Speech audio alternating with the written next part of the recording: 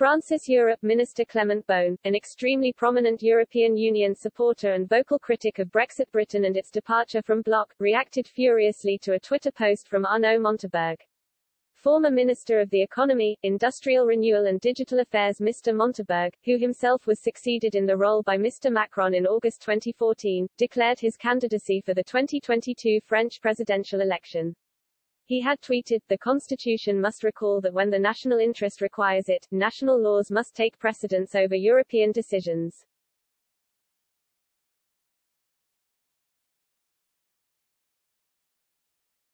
However, this sparked an explosive reaction from Mr. Beaune, who claimed being in the EU is a sovereign choice of the French people.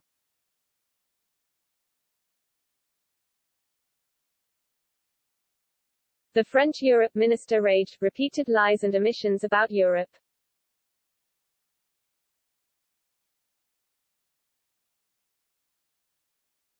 No, the pension reform is not a condition required by the EU.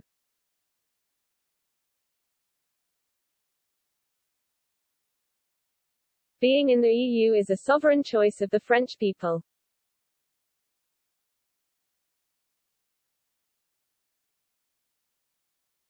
But the comments from Mr. Beaune were brilliantly shut down in three simple words by Florian Philippot, a leading Frexiteer, MEP and president of the Les Patriots movement.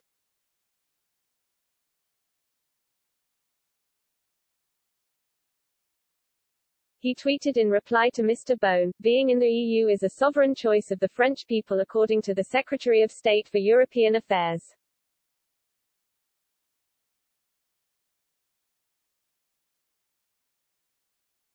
Small reminder, referendum of May 29, 2005, the no wins at 54.67%.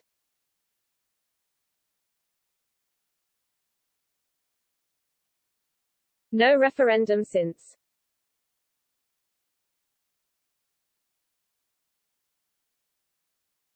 Mr. Philippot was referring to the French referendum on the treaty establishing a constitution for Europe was held on 29 May 2005 to decide whether France should ratify the proposed constitution of the EU.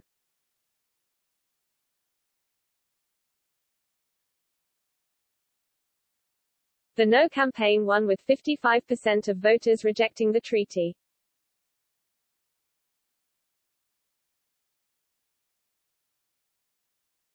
Earlier this month, Mr. Beaune exploded as the row between France and the UK over access for French fishermen to British waters after Brexit escalated.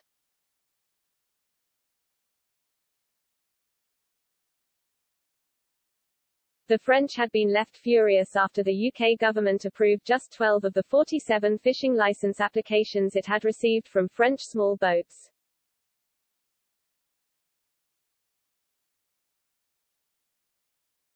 In a further blow, the Jersey government then said it had rejected 75 of the 170 license applications it had received from French vessels.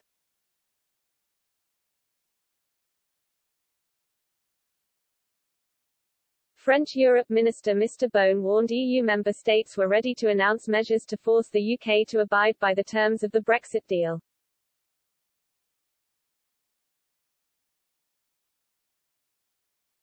He stopped short of detailing what those measures might be but noted Britain depends on energy supplies it receives from Europe, hinting at a possible electricity blackout.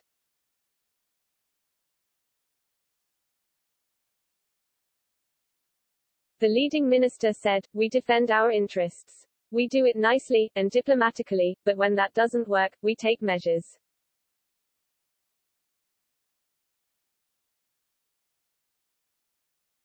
For example, we can imagine, since we're talking about energy, the United Kingdom depends on our energy supplies.